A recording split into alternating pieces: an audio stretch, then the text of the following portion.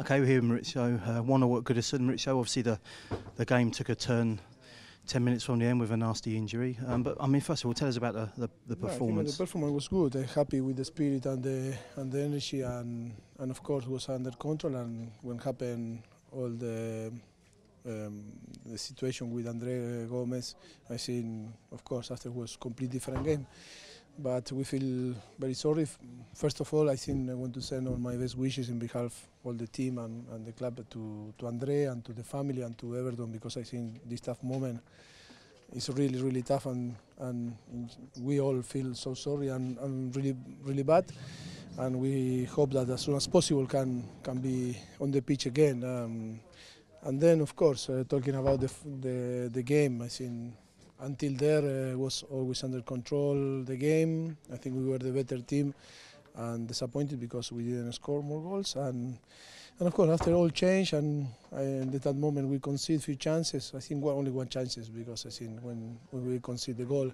Disappointed because I think 11 by 11 we were better team and, and with the red card of from so, of Sony a change of of course the belief and, and the atmosphere and everything on the on the pitch.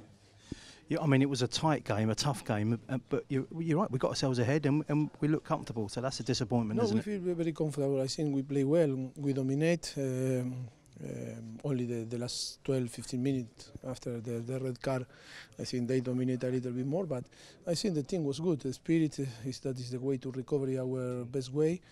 Um, I still a lot of work to do, but uh, that is the way that we wanted to to work and, and of course and after improve with this spirit the spirit to improve our our performance of course Good to see Dele on the score sheet again, step by step, eh? Yes, step by step, always is important. Always what, what we we say that we say that we we need time and he need time. Uh, he's still so young. Uh, I think he scored a, a very good goal, a very important goal for the team.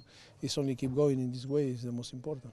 And just finally, made Ben captain today. That's the first time he's been captain. He's been here a long time, Ben, hasn't he? Great professional. I know you, you'd have enjoyed of giving him that. He's a fantastic professional and and of course um, yes he des- he deserves to be prized of course.